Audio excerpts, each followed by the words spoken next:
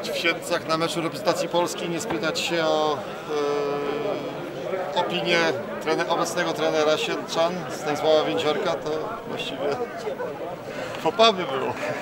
No cóż, mecz, mecz, który zakończył się naszą nieznaczną porażką i naprawdę y, uważam, że na tą porażkę w przekroju całego meczu chyba nie zasłużyliśmy, dlatego że, że y, pierwsza połowa była doskonała w naszym wykonaniu. Y, bardzo takie nieszczęśliwe stracone pierwsze punkty. W przekroju tej pierwszej połowy nawiązaliśmy z nimi równorzędną walkę, walkę a nawet mieliśmy parę sytuacji, które nieszczęśliwie zakończyły się niepowodzeniem. Y, w drugiej połowie troszeczkę zabrakło może sił, ale walka do końca. Ja muszę powiedzieć, że dawno nie widziałem takiego meczu w wykonaniu polskiej reprezentacji. Tak, y, tak, tak twardej walki, tyle zostawionego serca i, i naprawdę zdrowia na, boisku.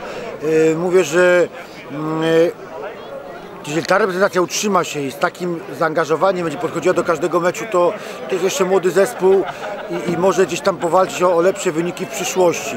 Mówię, szkoda tego, że to się skończyło tak nieszczęśliwie, bo jeszcze na koniec meczu mogliśmy położyć punkty i uważam, że tutaj troszkę może błąd yy, na porozumienia 9-10, bo piłka co na watach dałaby może nam przyłożenie. Może byśmy nie wygrali tego meczu, przegralibyśmy go jednym punktem. Niemniej jednak ja mówię, jestem dumny z tej reprezentacji, bo takiego meczu nie widziałem bardzo dawno, takiej walki, takiego zaangażowania i w sumie naprawdę tak dobrych zawodów.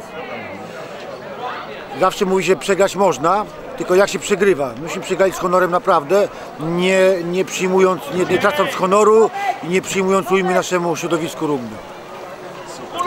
Powiedz jak organizacja? Organizacja naprawdę jestem pod wrażeniem. Pod wrażeniem organizacji, ja nie wiem jak, jak zawodnicy, frekwencji, pełny stadion. Chyba Wydaje mi się, że pełny stadion, bo ja nie Zabrakło widziałem. biletów, Stasiu. Tak, z tego co wiem zabrakło biletów, także no, świadczy to o tym, że jest, na, na rugby popyt jest.